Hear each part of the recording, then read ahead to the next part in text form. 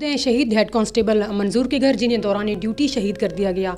नाजरीन, आज हम आपकी मुलाकात करवाएँगे शहीद की फैमिली के साथ और आपको बताएँगे कि कैसे उनको जो है शहीद कर कर दिया गया। और नाजरीन, आज हम पुलिस के किरदार के बारे में भी बात करेंगे कि जब से शहीद हेड कांस्टेबल मंजूर शहीद हुए हैं, उनके साथ जो है पुलिस का कैसा किरदार, कैसा ताउन है उनके साथ? तो नाजरीन, आइए यहाँ पर आपको जो है हम मिलवाते हैं शहीद की फैमिली से कि कितने उनकी फैमिली में मेंबर हैं और जो है आपको लेके चलते हैं उनके घर और बात करवाते हैं आपकी। जी तो नाजरीन इस वक्त हम मौजूद हैं शहीद हेड कांस्टेबल मंजूर की बेवा के साथ। आइए हम उनसे बात करते हैं कि शहीद जब घर से निकले थे सुबह उनके आखिरी अल्फाज क्या थे और किस तरीके से उनके साथ ये वाक़ पेश है क्या वो उस टाइम ड्यूटी पे मामूर थे? अलैक्म। जी मैम क्या नाम है आपका? अना मंजूर। मैम सबसे पहले बहुत ही गहरे दुख और अफसोस का इजहार करते हैं आपके हस्बैंड को दौरान ड्यूटी जो शहीद कर दिया गया। लेकिन अल्लाह ताला आपको सब्र और हिम्मत दे। शहीद कभी जो है वो नहीं मरते, शहीद हमेशा ज़िंदा रहते हैं। तो आप मैम ये बताइएगा कि आपके जो है हस्बैंड सुबह किस टाइम घर से निकले थे और जो है किस तरह से ये वाक़ पेश आया? आठ, सवा आठ के टाइम निकलते थे मंजूर ना। ये बड़ी बेटी के स्कूल छोड़ते थे उस दिन भी यही रूटीन थी, इसे स्कूल छोड़ा पहले। फिर सवा आठ बजे निकल गए घर से ना। तो फिर एक बारह बजे कह रहे हैं वाक़ हुआ है। एक बजे मेरे पास खबर आई थी उनकी ना। जब बच्चे स्कूल से वापस आए तो वहीं किसी ने बताया रिलेटिव्स ने कि इस तरह हुआ है ना? तुम देखो न्यूज़ पे पता करो या किसी से पता करो ना हॉस्पिटल वगैरह में. तो आपको किसने कॉल की? पुलिस स्टेशन से कॉल आई थी? हाँ हम पुलिस लाइन में रहते थे ना फिर लांडी चार तो वहाँ पहुँचे थे पुलिस वाले जब उनको शहादत का पता चला। तो उन्हें एड्रेस वहीं का पता था तो फिर वो वहीं गए। वहाँ फिर मेरे दोस्तों को पता चला उन्होंने मुझे कॉल की थी मेरी दोस्तों ने ना। कि इस तरह हुआ है, लेकिन सब यही बोल रहे थे, नहीं, परेशान नहीं हो, टांग पे गोली लगी है, वो मुझे परेशान नहीं करना चाह रहे थे। तुम पता कर लो।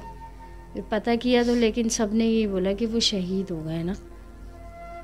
अच्छा आप ये बताइएगा कि उन मुलजमान के बारे में बताइएगा कि जिन्होंने उनको शहीद किया है। मतलब वो दहशत गर्द उनको मुलजमान भी नहीं कह सकते दहशत गर्द हैं वो। तो उनका कुछ पता चला? उनकी कोई शनाख्त हुई कि कहाँ से आए थे वो? आपको कुछ पता है इस बारे में? नहीं, हमें तो इस बारे में कुछ भी नहीं पता, बस यही कह रहे हैं कि ये ऑन ड्यूटी थे, जिस तरह गश्त पे होते हैं, पुलिस वाले इस तरह अपनी ड्यूटी कर रहे थे तो स्कूल के पास से इनका गवर्नमेंट स्कूल है, वहाँ लड़कियों का इक्यावन सी में। तो वहाँ बच्चियों की छुट्टी हुई हुई थी तो वो मुलजमान कह रहे हैं कि कहीं से कोई वारदात करके आ रहे थे, और ये अपनी ड्यूटी पे थे तो वो इनको देख के परेशान हो गए, घबरा गए कि शायद ये हमारे पीछे आए। तो जो है, और जो है ना, उनके पास जो है उनके मुँह भी ढके हुए थे, कह रहे हैं। वहाँ के जो लोगों ने बताया, और यही बताया कि जो है, वो घबरा गए तो वो फायर करना चाह रहे थे। तो जो मेरे शौहर थे ना, उन, वो बाइक छोड़ के आगे बढ़े कि फायर नहीं करना, बच्चे हैं। क्योंकि बच्चियों की छुट्टी हुई थी, बहुत रश था वहाँ पे उस टाइम तो इन्होंने बोला फायर नहीं करना, बच्चे हैं तब। तो एक को पकड़ भी लिया था इन्होंने। लोग बोल रहे हैं, एक को पकड़ लिया था और दूसरा जो है ना इनके पीछे आ रहा था इतने में वो जो उसका साथी था ना उसने इन पे फायर कर दिया। और बहुत करीब से किया जो बाजू पे लग के उनको सीधे दिल में लगी ना गोली इसलिए वो संभाल नहीं पाया वहाँ वो फिर वो। अच्छा क्या उनको हॉस्पिटल एडमिट करा, कराया गया था या फिर मौके पे दम तोड़ गए? नहीं हॉस्पिटल तो लेके गए थे उनको लेकिन सुन रहे हैं कि रास्ते में जो है ना दम तोड़ दिया था। अच्छा आप ये बताइएगा कि जो है, पुलिस का कैसा ताउन है, आप कैसा किरदार है? क्योंकि जब एक पुलिस एहलकार शहीद हो जाता है तो बहुत बड़ा अहम किरदार होता है पुलिस का। शहीद के अहल खाना के साथ तो उनका कैसा किरदार है? कैसा ताउन है आपके साथ? कितने चक्कर लगाते हैं वो? नहीं, बहुत अच्छा है। अभी तक तो बहुत कोऑपरेटिव है। जो भी है, सब आ रहे थे एसएसपी साहब डीआईजी और सब आए हैं। सबका बहुत अच्छा कोऑपरेट है हमारे साथ ना। हमें कहीं धक्के नहीं खाने पड़ रहे। खुद हमारा काम, जिस काम के लिए भी जो जो लोग फ़ोन नंबर यहाँ दे के गए ना एसएसपी डीआईजी जिसको भी कॉल करो उठा लेते हैं हमारा काम भी करवा देते हैं। कागज़ी कार्रवाइयाँ हो रही हैं ना अभी। बच्चों के बेफान बन रहे हैं उनके डेथ सर्टिफिकेट वगैरह बन रहे हैं। तो सबका बहुत अच्छा कॉपरेट है अभी तक तो। आगे देखें क्या होता है। अच्छा मैडम ये बताइएगा कि शहीद मंजूर का फैमिली के साथ कैसे ताल्लुकात थे? सबसे ज़्यादा क्लोज किसके थे फैमिली में? किससे प्यार करते थे सबसे ज़्यादा? उनकी उनकी जो ज़िंदगी थी ना बच्चे बस। बच्चों से शुरू बच्चों पे ख़त्म। सुबह भी इनको ले जाना लाना इनके लिए सुबह भी चीज़ें लाना। खुश करके जाना, इनको अब खुश हो, पूछ, चीज़ें ला के पूछते थे, अब खुश हो। फिर रात को भी ये लोग पहले ही बोल देते थे, बाबा, हम सोएँगे, हमें सुबह के लिए ये चीज़ चाहिए। तो फिर ला के और रख देते थे पहले ही। बस बच्चों से शुरू, बच्चों पर ही ख़त्म होता था उनका।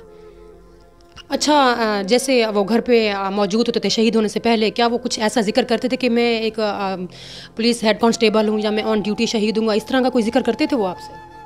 नहीं, बारह साल शादी को होगा कभी ऐसा नहीं किया, पता नहीं क्यों, अब एक दो महीने से निकला उनके मुँह से ना ये, कि मैं शहीद हो जाऊँ या मैं नहीं होऊँगा तो तुम्हारा क्या, क्योंकि रेंट का घर है ना हमारा तो उनको ये दो ढाई महीने से पता नहीं क्यों इतनी फ़िक्र सताती थी, अल्लाह बुलवाता था उनसे, क्या मुझे नहीं पता। हमारे लिए दो ढाई महीने से बहुत परेशान होते थे कि मैं नहीं हूँ तो मेरे बाद तुम्हारा क्या होगा। तो मैं यही कहती थी, तुम कहाँ जा रहे हो?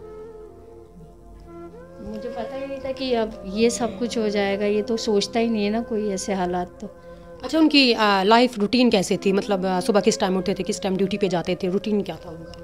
बस यही सुबह सात बजे हम सब उठ जाते थे बच्चों को स्कूल जाना होता था उन्हें ड्यूटी और फिर ये है कि बच्ची को स्कूल छोड़ के आठ बजे और वो भी सीधे ड्यूटी निकल जाते थे अपने ना।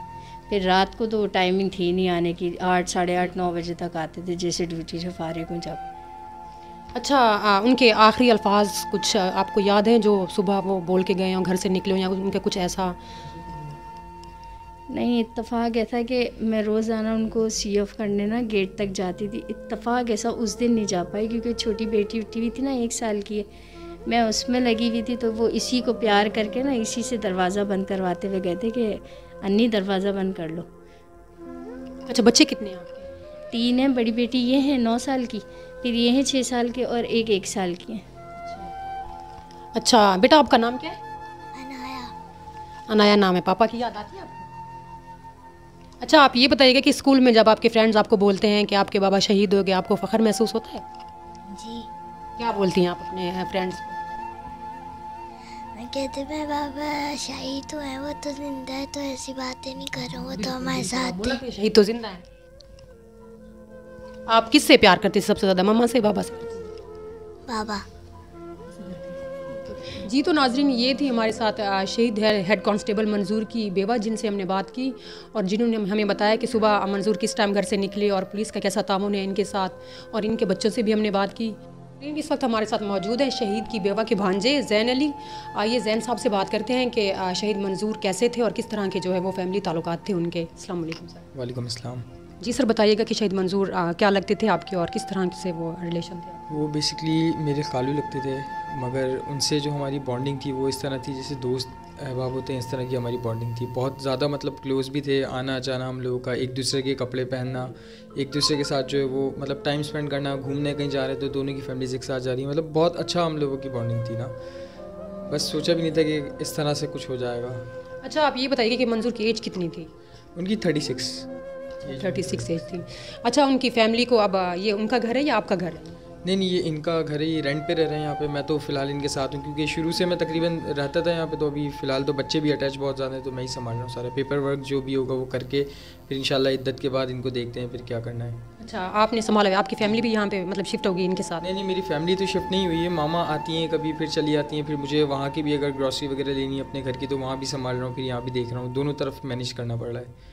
जी सर, आप ये बताइएगा कि पुलिस का कैसा तामुन है आपके साथ जब से शहीद हुए मंजूर साहब? पुलिस के हवाले से जहाँ तक है तो अभी फ़िलहाल बहुत अच्छा उन लोगों ने ताउन दिया है, जिसको भी कॉल करनी होती है एस एस पीज़ आए, हमारे पास आई जी है डी आई जी है डी एस पीज़ आए तो एस एच ओ हैं बहुत सारे या लांडी थाने के कोरंगी थाने के तो उन्होंने बहुत अच्छा कॉपरेट किया मतलब एक कॉल पे वो फ़ोन उठा लेते हैं और नादरा के जितने मामला थे उन्होंने हल करवाएँ। अभी आज भी जो बेफाम वगैरह के लिए बच्चों के लिए जाना था तो माशाल्लाह उन्होंने बहुत अच्छे से ताउन करें फ़िलहाल तो अभी बहुत बेहतर उनकी तरफ़ से रिस्पॉन्स है। देखते रहिए यंग स्टार टीवी न्यूज़ और अपनी मेज़बान किरण वज़ीर को दीजिए इजाज़त, अल्लाह हाफिज़।